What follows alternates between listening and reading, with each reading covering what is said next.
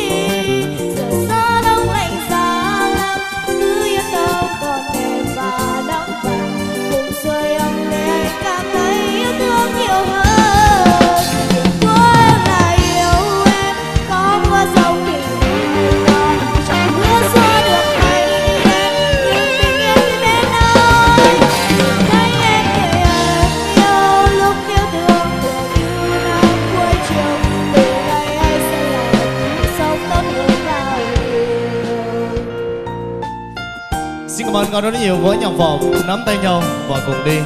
Đó là những gì mà hạnh